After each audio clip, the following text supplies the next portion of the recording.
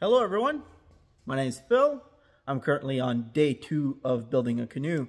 I'm at the step where I'm building the stand. Uh, today I'll be adding legs to that stand. So if you watched the previous video, I hope you enjoyed. Today it'll be pretty much similar to the first one. I'm just creating a hyperlapse of the work I'm doing and hopefully you guys enjoyed the process.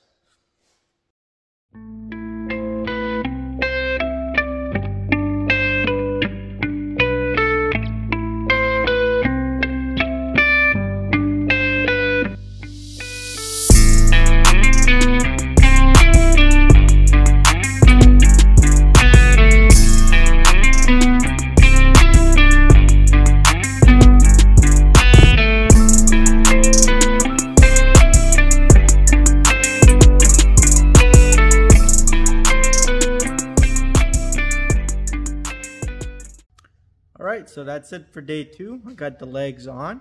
I'll show you. Both sides, nice and solid. So all I need to do now is add a piece of wood in between these guys, like a little plate, like it says on the model here.